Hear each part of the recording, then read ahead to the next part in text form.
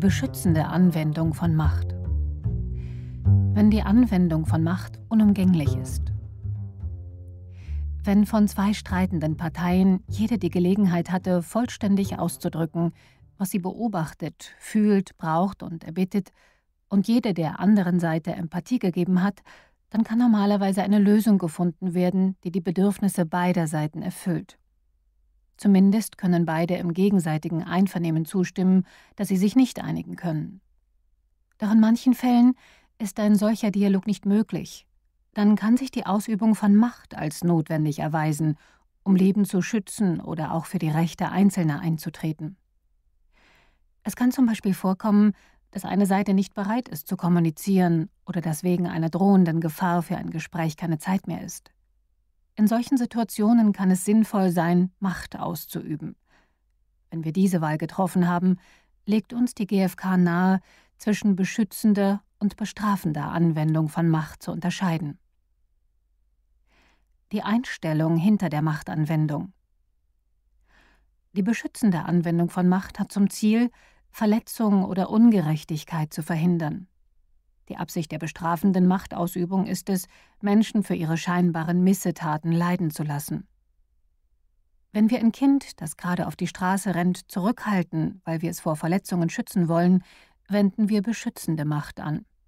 Zur bestrafenden Machtausübung hingegen gehört oft ein körperlicher oder seelischer Angriff, wie zum Beispiel dem Kind eine Tracht Prügel zu geben oder es zu tadeln.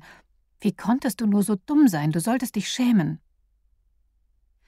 Wenn wir Macht als Schutz einsetzen, richten wir unsere Aufmerksamkeit auf das Leben oder die Rechte, die wir schützen wollen, ohne über eine Person oder ihr Verhalten ein Urteil abzugeben. Weder beschuldigen noch verurteilen wir das Kind, das auf die Straße läuft. Unsere Gedanken richten sich einzig und allein auf den Schutz des Kindes vor Gefahr. Wie diese Art der Macht in sozialen und politischen Konflikten ausgeübt werden kann, lesen Sie in Robert Irwins Buch Nonviolent Social Defense. Die beschützende Machtanwendung geht davon aus, dass Leute aus Unwissenheit selbstverletzend handeln können. Das korrigierende Eingreifen hat daher einen bildenden Charakter und keinen bestrafenden. Zu dieser Unwissenheit gehören a. ein Mangel an Bewusstheit über die Konsequenzen unserer Handlungen, b. Unwissen darüber, wie wir unsere Bedürfnisse zufriedenstellen können, ohne andere dabei zu verletzen. C. Der Glaube, wir hätten das Recht, andere zu bestrafen oder ihnen weh zu tun, weil sie es verdienen. Und D. Wahnvorstellungen, wie zum Beispiel eine Stimme hören, die uns befiehlt, jemanden umzubringen. Strafaktionen basieren dagegen auf dem Gedankenmuster, dass Menschen Straftaten begehen, weil sie schlecht oder böse sind und um das zu ändern, muss man sie zur Reue bewegen. Ihre Besserung wird durch Strafaktionen angestrebt, mittels derer man sie erst so lange leiden lässt, bis sie die Verfehlung ihres Tuns erkennen, damit sie daraufhin bereuen und sich verändern. In der Praxis jedoch führt eine Strafaktion mit großer Wahrscheinlichkeit zu Abwehr und Feindseligkeit und zu einer Verstärkung des Widerstands gerade gegen das Verhalten, das wir als wünschenswert ansehen. Verschiedene Arten bestrafender Macht. Körperliche Bestrafung wie Schlagen ist eine der Möglichkeiten strafender Machtausübung. Ich habe festgestellt, dass das Thema körperliche Züchtigung starke Gefühle bei Eltern hervorruft. Manche verteidigen diese Praxis hartnäckig und berufen sich dabei auch auf die Bibel. Sparst du an der Peitsche, verdirbst du das Kind.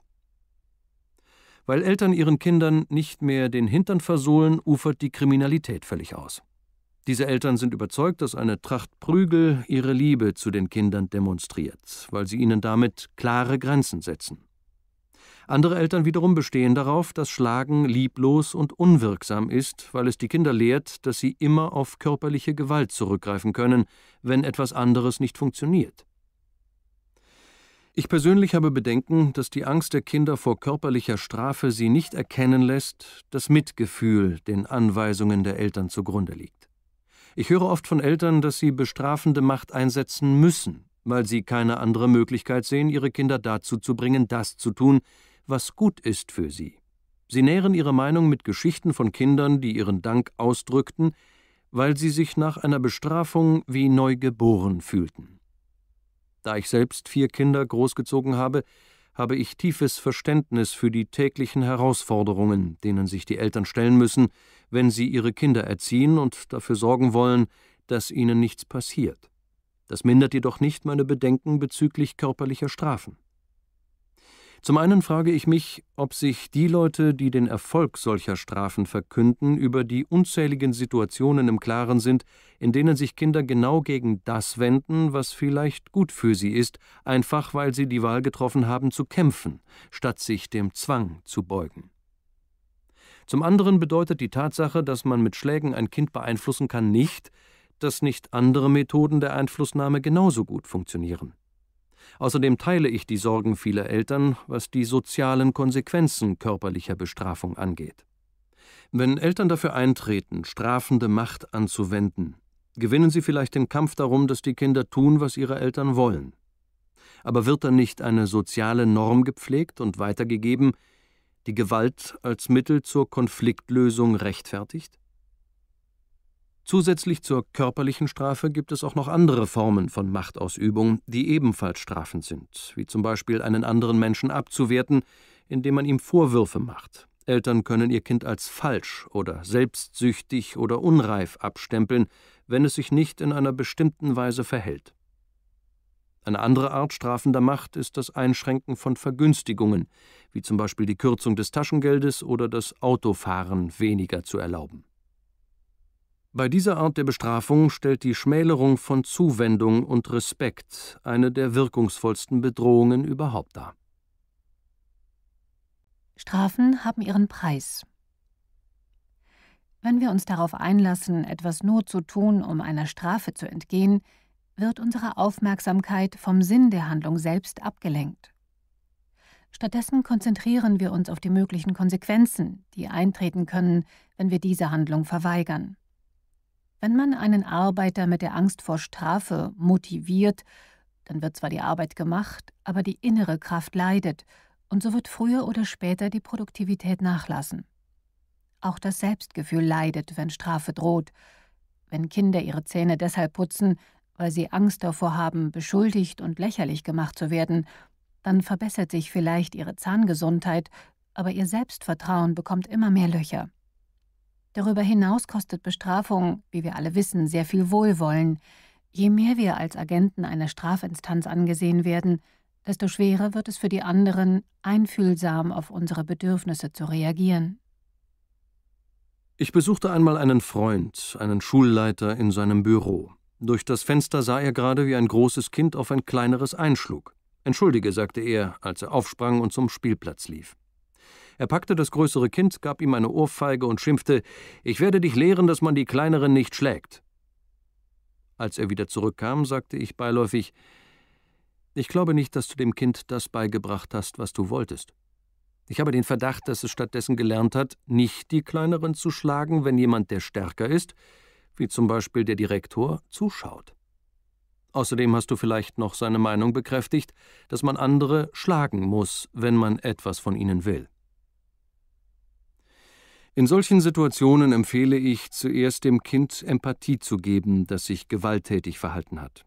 Wenn ich zum Beispiel ein Kind sehe, das jemanden schlägt, nachdem es beschimpft worden ist, kann ich mich folgendermaßen einfühlen. Ich habe den Eindruck, dass du dich ärgerst, weil du gerne mit mehr Respekt behandelt werden möchtest. Wenn meine Vermutung richtig war und das Kind mir das bestätigt, dann würde ich meine eigenen Gefühle, Bedürfnisse und Bitten in dieser Situation zum Ausdruck bringen jedoch ohne ihm Vorwürfe unterzujubeln. Ich bin traurig, weil ich gerne hätte, dass wir Wege finden, Respekt zu bekommen, ohne aus anderen Leuten Feinde zu machen. Sag mir doch bitte, ob du gemeinsam mit mir andere Möglichkeiten herausfinden magst, wie du den Respekt bekommen kannst, den du haben möchtest. Zwei Fragen, die deutlich machen, Strafen haben ihre Grenzen. Zwei Fragen helfen uns zu verstehen, warum es so unwahrscheinlich ist, dass wir das bekommen, was wir brauchen, wenn wir mit Strafen das Verhalten anderer Menschen verändern wollen. Die erste Frage lautet, was hätte ich gerne, was diese Person tut, im Gegensatz zu dem, was sie im Augenblick gerade macht? Wenn wir nur diese erste Frage stellen, dann kommt uns Strafe vielleicht wirkungsvoll vor, weil die Androhung oder Ausübung von strafender Macht das Verhalten eines Menschen sehr wohl beeinflussen kann. Mit der zweiten Frage wird jedoch deutlich, dass Bestrafung nicht funktionieren wird. Aus welchen Gründen hätte ich gern, dass die Person das macht, worum ich sie bitte? Wir stellen uns selten die zweite Frage, aber wenn wir es tun, dann merken wir schnell, dass sich Strafe und Belohnung der Fähigkeit unserer Gesprächspartner in den Weg stellen, Dinge aus den Gründen zu tun, die uns wichtig sind. Es ist entscheidend, sich der Wichtigkeit der Beweggründe bewusst zu sein, weshalb jemand das tut, worum wir ihn oder sie gebeten haben. Wenn wir zum Beispiel gerne möchten, dass die Kinder in ihrem Zimmer aufräumen, weil sie entweder den Wunsch nach Ordnung haben oder zur Freude ihrer Eltern über die Ordnung beitragen wollen, dann liegt es auf der Hand, dass Vorwürfe und Strafen keine effektiven Strategien dafür sind. Oft räumen Kinder ihr Zimmer auf, weil sie sich der Autorität beugen, weil sie Angst vor Strafe haben oder Angst davor, dass sich ihre Eltern aufregen und sie abgelehnt werden. Die GfK fördert dagegen eine Dimension der ethischen Entwicklung, die auf Autonomie und gegenseitiger Rücksichtnahme basiert, in der wir die Verantwortung für unsere eigenen Handlungen übernehmen und in der uns bewusst ist, dass unser eigenes Wohlergehen und das Wohlergehen anderer Menschen ein und dasselbe sind. Die beschützende Ausübung von Macht in Schulen. Ich möchte gerne davon erzählen, wie ich mit einigen Schülern die beschützende Machtausübung eingesetzt habe, um Ordnung in eine chaotische Situation an einer alternativen Schule zu bringen. Diese Schule war für Schüler da, die die Schule abgebrochen hatten oder vom regulären Unterricht ausgeschlossen worden waren.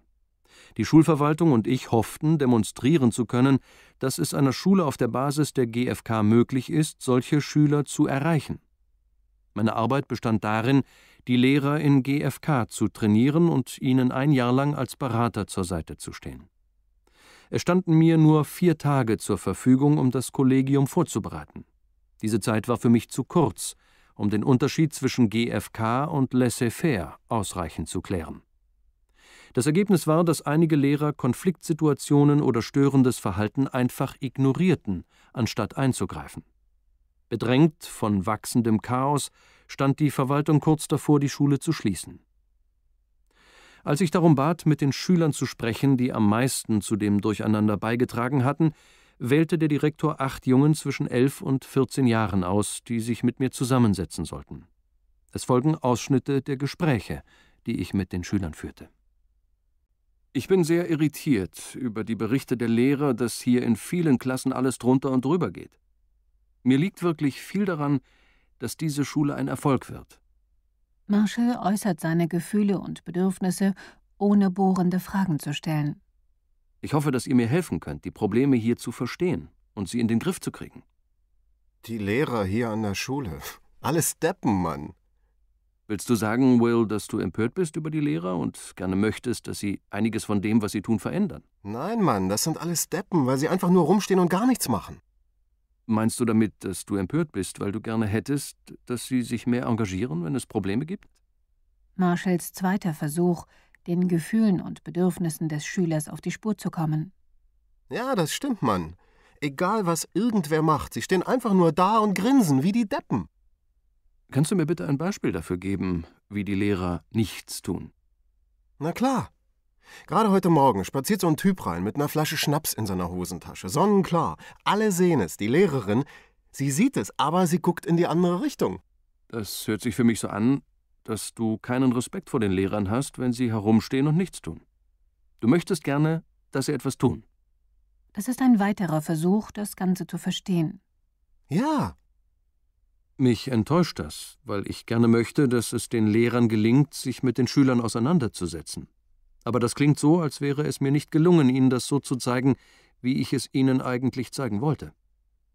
Die Diskussion wendet sich jetzt einem besonders dringenden Problem zu, das immer dann auftritt, wenn Schüler, die im Unterricht nicht mitarbeiten wollen, diejenigen stören, die mitarbeiten wollen.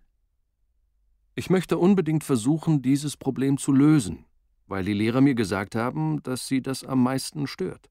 Ich würde mich freuen, wenn ihr zu dem Thema Ideen habt und sie mitteilt.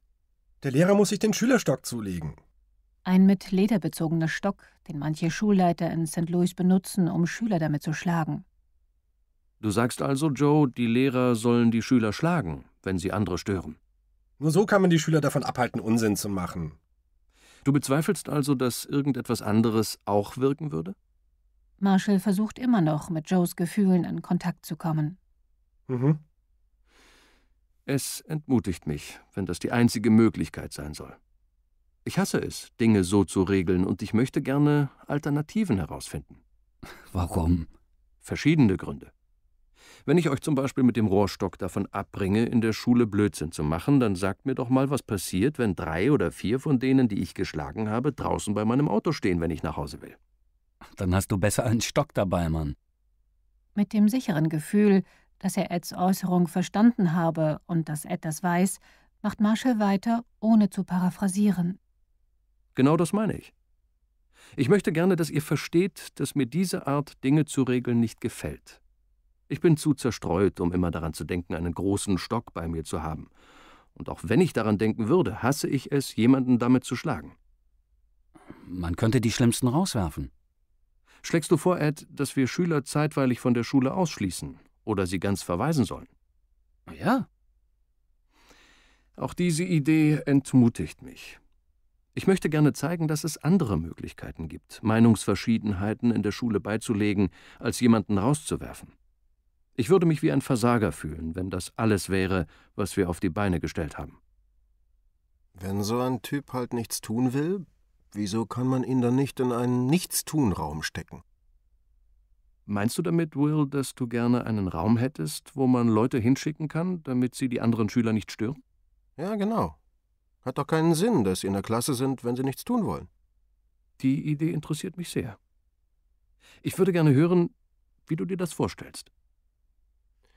Manchmal kommst du in die Schule und fühlst dich einfach grauenhaft. Du willst überhaupt nichts tun. Dann haben wir eben einen Raum, wo die Schüler hingehen können, bis sie wieder Lust haben, etwas zu tun. Ich verstehe, was du sagst. Aber ich kann mir vorstellen, dass die Lehrer sich Sorgen machen werden, ob die Schüler dann freiwillig in den Nichtstunraum gehen. Das werden sie.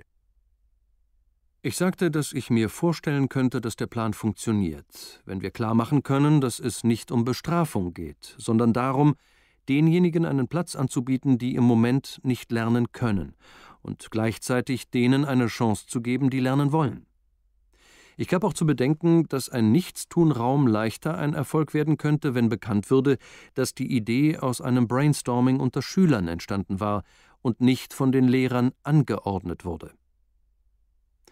Es wurde ein Nichtstun-Raum für die Schüler eingerichtet, die durcheinander waren und keine Lust hatten zu lernen oder deren Verhalten die anderen vom Lernen abhielt. Manchmal fragten die Schüler, ob sie hingehen konnten, manchmal baten die Lehrer, einen Schüler hinzugehen. Wir setzten die Lehrerin, die schon am besten mit der GfK vertraut war, in den Raum, und sie hatte sehr produktive Gespräche mit einigen der Schüler, die hereinkamen. Diese Einrichtung war ein großer Erfolg auf dem Weg, wieder mehr Ordnung in die Schule zu bringen. Denn die Schüler, die es sich ausgedacht hatten, machten ihren Mitschülern den Zweck klar. Die Rechte der Schüler zu schützen, die lernen wollten. Mit Hilfe der Gespräche mit den Schülern demonstrierten wir den Lehrern, dass es noch andere Möglichkeiten gab, Konflikte zu lösen, als sich aus der Situation zurückzuziehen oder zu strafen. Zusammenfassung In Situationen, wo es keine Möglichkeit für ein Gespräch gibt, zum Beispiel bei drohender Gefahr, müssen wir vielleicht auf die beschützende Anwendung von Macht zurückgreifen. Das Ziel der beschützenden Machtanwendung ist die Verhinderung von Verletzung oder Ungerechtigkeit, niemals jedoch zu bestrafen, jemanden leiden oder bereuen zu lassen oder ihn oder sie zu verändern. Die bestrafende Machtausübung erzeugt tendenziell Feindseligkeit und verstärkt die Abwehr gerade gegen das erwünschte Verhalten. Bestrafung beschädigt Wohlwollen und Selbstvertrauen und lenkt unsere Aufmerksamkeit weg von der Bedeutung einer Handlung hin zu den äußeren Konsequenzen. Vorwürfe und Strafen tragen nicht zu den Beweggründen bei, die wir gerne bei anderen hervorrufen möchten.